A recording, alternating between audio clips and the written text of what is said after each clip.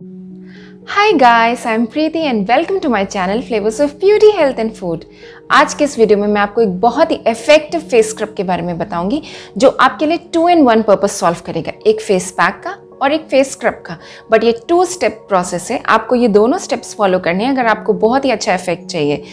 First step के बाद ये आपकी स्किन इंस्टेंटली क्लीन क्लियर और ब्राइट हो जाएगी और सेकंड स्टेप के बाद में एक इंस्टेंट शाइन और ग्लो आपकी स्किन में आ जाएगा।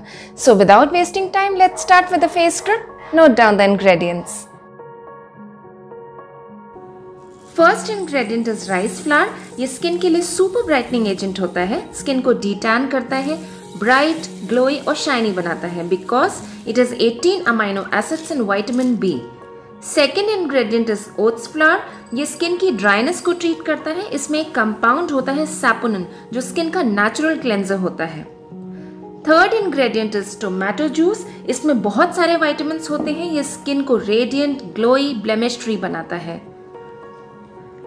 Then next ingredient is lemon juice it has high content of vitamin C ये सुपर ब्राइटनिंग एजेंट होता है स्किन का। Next we need curd curd में लैक्टिक एसिड होता है लैक्टिक एसिड स्किन को मॉइस्चराइज करता है और ग्लोई बनाता है। Then we need amla juice amla juice is totally optional ये अगर अवेलेबल है तो आप इसको ऐड कर सकते हैं। It is loaded with vitamin C and good for skin last we need cucumber juice cucumber juice बहुत ही ज़्यादा ब्राइटनिंग और लाइटनिंग एजेंट होता है।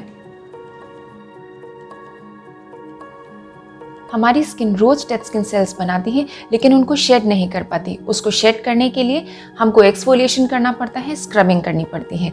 आप अगर स्क्रबिंग नहीं करते तो आप कितने भी costly products creams moisturiser serums use कर लीजिए, आपके स्किन में कभी भी हेल्दी ग्लो और शाइन नहीं आएगा। तो चलिए फटाफट देखते हैं अपना स्क्रब कैसे बनाना है और उसको यूज़ कैसे करना है।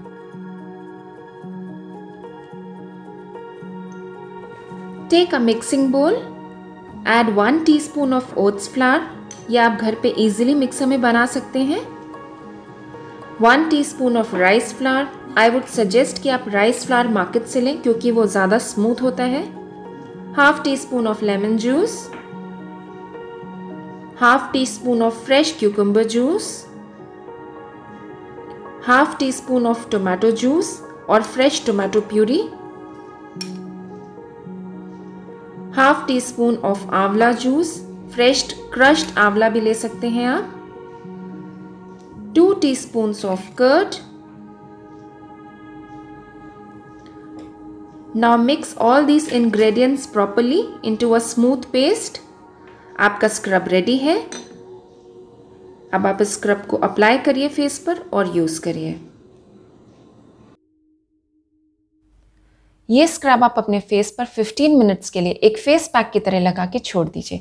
और 15 मिनट्स के बाद में बहुत ही धीमे धीमे जेंटल हैंड से एटलीस्ट फाइव मिनट्स के लिए स्क्रबिंग करिए और फिर नॉर्मल पानी से वॉश कर दीजिए। ये प्रोसेस आप हफ़्ते में तीन दिन रिपीट करिए।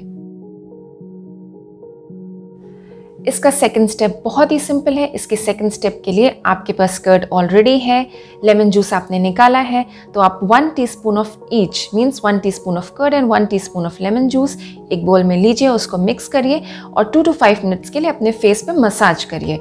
मसाज करने के बाद में आप उसको नॉर्मल पानी से वॉश कर दीजिए। मसाज करने का टाइम नहीं है आपके पास तो एक पतला सा लेयर अपनी स्किन पे लगा के छोड़ दीजिए और फिर उसके बाद नॉर्मल पानी से वॉश कर दीजिए। एक इंस्टेंट ग्लो आपकी स्किन में आएगा और ट्रिमेंडस शाइन आएगी।